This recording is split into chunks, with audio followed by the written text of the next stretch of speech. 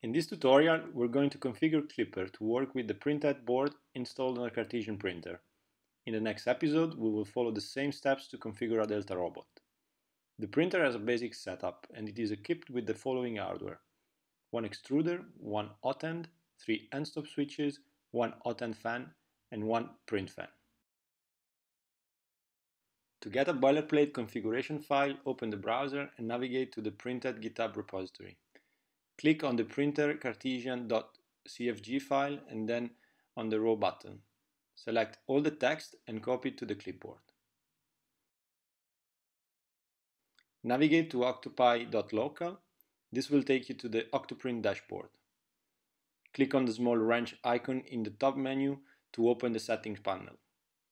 The Wrecklab image installed in the previous tutorial comes with OctoKlipper, a plugin that automates and simplifies some of the day-to-day -day Klipper tasks. Scroll down to the end of the left panel and click on OctoKlipper to access the settings section. Then click on Klipper Configuration tab at the top. This will open the text editor for the configuration file. Now delete all the existing content and paste the configuration file content copied from the repository.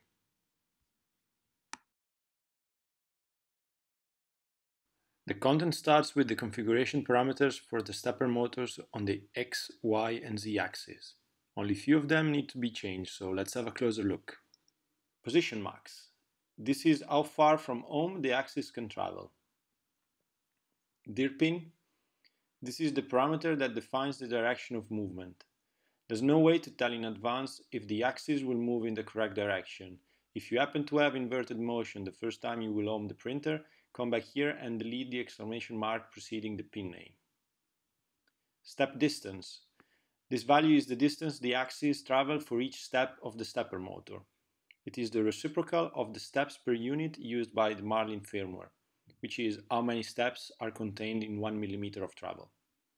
If you know the correct value of steps per unit from Marlin or from an online tool like Prusa RepRap Calculator, Take 1 over steps per unit and put the result in the step distance parameter. Moving on to the next section, this is where the configuration parameters of the TMC driver are stored and doesn't require any change. You can come back here if you need to increase the maximum current that the stepper driver can deliver. The next four sections are a repetition of the above for the Y and Z axis. Next up is the extruder section, which stores the parameters that describe the extruder and the filament characteristics. The dir pin defines the direction of extrusion. If you happen to have retraction on your first priming, come back here and add an exclamation mark before the pin name. The step distance indicates the length of filament extruded when the extruder motor turns by one step. Again, the value is the reciprocal of the Marlin steps per unit, so the same 1 over steps per unit formula applies. If you don't have the number available, you have to calculate it knowing your extruder setup.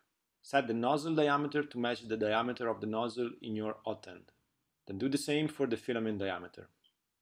For the sensor type, you have to pick the correct model from the list of sensors supported by Klipper and insert the name without quotes.